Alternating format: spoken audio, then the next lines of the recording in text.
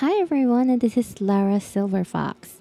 And in today's video, we are going to be doing a tutorial in changing our clothes. And if you guys have noticed, I have changed my outfit and I did remove my horns and everything. It's already nighttime and I need to go to sleep.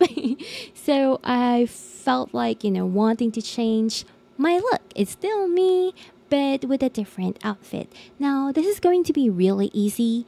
It just takes like a little bit of work around to get used to how to do it, and it's going to be free.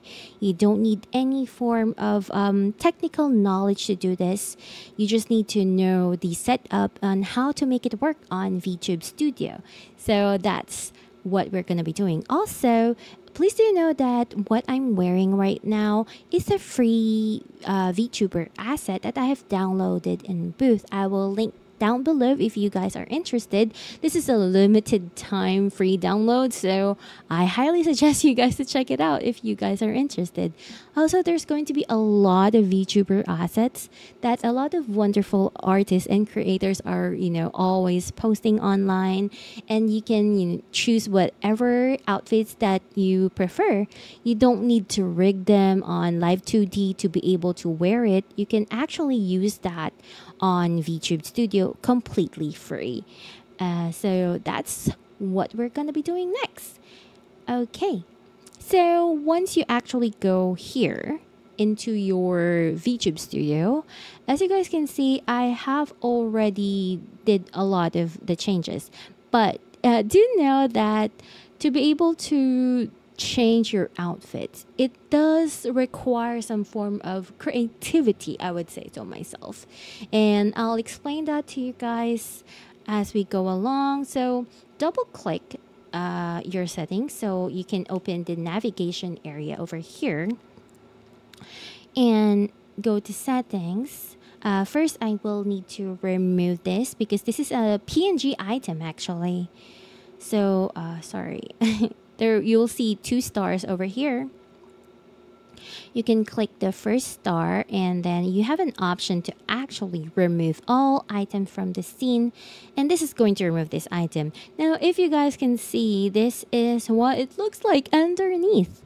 So basically I have removed the art meshes that I have temporarily. It's not going to be removed entirely from your model so you don't need to be very much alarmed and please do know that you will need to like know the TOS of your own model. If the creator is allowing you to create changes in your model, especially if you're downloading a free model or even with a paid model, basically. So just make sure that um, the creator is allowing you to do so, or else you know you might um, face some form of issues. But um, anyway, so I had to make them all transparent is what I actually did. You can do that by going to the settings menu and over here to the third icon of the area wherein there is a, like a human figure kind of thing. Um, you just go here to the customize model you click that and you go here to customize multiply slash screen color for art meshes. And this is actually where the magic happens once the loading uh, finally kicks in. Okay, so as you guys can see, I have a lot of things have checked out. So if you are starting, you know, if you have never done this before, this will be all unticked so you will need to do everything from scratch. So I'll just um, remove quite a few things over here. As you guys can see little by little they're all showing up. So um, the difficult part here is that um, there you will need to do them one by one you know. So what i usually would do is that I will just focus on what I wanted to wear, what I wanted to look like. And I will just highlight and click on them directly and find my way, whatever is connected to it. So basically, over here, I will try to try this one, and then um, basically, once you like uh, drag colors over here, you will be able to find out what um, what area of your model it is being affected. So as you guys can see, this one is at the neck. So I'll put it over there. That's not what I'm looking for. Um, so, and uh, this is not it as well. So that's the difficult part because it's all numbers. It's really hard to find out. Um, so this is the issue with my model. Is because I think the uh, creator forgot to separate them, or maybe it was intentionally done as such. So I can never detach them. Um, unfortunately, so I will try to contact the creator for this if it's possible to get it fixed or I can do it myself because he does allow it and I do have the PSD anyway. So um yeah. Uh, but so far that's how it goes. So if if for example you do have a model that the body is attached to like the clothing um, you will just need to be very creative, especially if you have a clothing that's like, you know, um, shows a lot of skin because um, if you try to make this transparent and you can do this by um, putting this into a visible area or you can also use a green screen if you want uh, because if you bring this to OBS sometimes it will show us black. So it's always better to just go with green screen but uh, for the most part, I just go with white. And then you go here to the A, letter A over here, and you drag this one over here. So as you guys can see, it's now invisible. So it's now transparent. So I just click OK and then you click OK and it's already transparent. And you will just do this to all of the areas that you want to like um, have some form of transparency basically. Just like just like so. So that's I, I usually just focus on on those things. Like what are the things that I can hide um, depends on the clothing that I'm using. So I will just be focusing on that. Of course, if you have like, you know, if you can actually remove all of them, then that's like the best way to, to go for the most part. Um, one, it's just like very tricky here is that you will need to activate all of the art meshes, I would say. Um, that is the most ideal. So you will need to activate all of the um, um, hold on. Let me just click it again. I'm just doing this on the go actually. Um, so you will need to activate all of the art meshes, but um, what is uh, what I would advise you guys to do is to not put it on green screen, uh, but go with white if you can. Um, and then you know make sure that this one is on black. So once that is happening uh, whatever art mesh that you are selected is a standalone. It does not form any form of changes. So i'll give you an example over here so I am clicking here over my shoulder area. Uh, and as you guys can see, if I use a different color, it turns into that color. So if I go with white, it will just, you know, be as is because we are using the multiplying screen, so it's not really going to change. Um, so, and over the screen area, I'll just go with black because that is the normal one. And it will activate at so why you want to do this is because later on for you to not do every art meshes one by one each time that you wanted to change your outfits, you would want to go here to the fourth tab into the expression editor area and you would want to create your own art meshes. Now, if you deactivate your art meshes, just like what I did earlier, um, basically like if you notice over here the art meshes are counted by two which means i only activated two art meshes. So i prepared this like um, i actually messed up with this one because i was doing a lot of like uh, trial and error.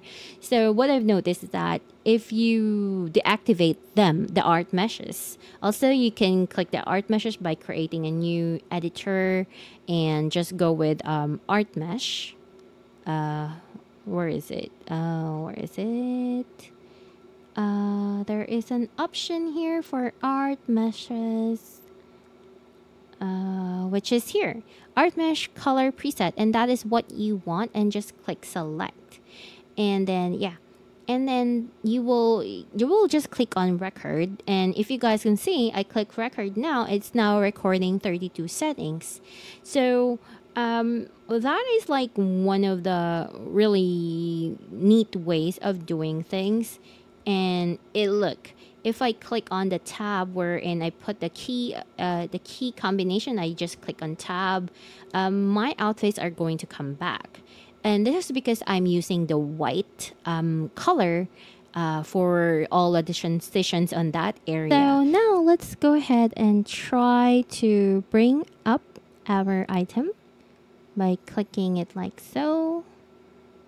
And it's going to be very tricky um, as you guys can see because remember that my model is actually has holes because it's not fully showing my skin and um, depending on the clothing that you are going to be choosing, uh, you might have some form of a tricky scenario whenever you know you move around with your tracking. So you will need to be quite creative, if I would say so myself, in how you do this. Also, by scrolling up and down your mouse, you can actually make it like uh, bigger or smaller.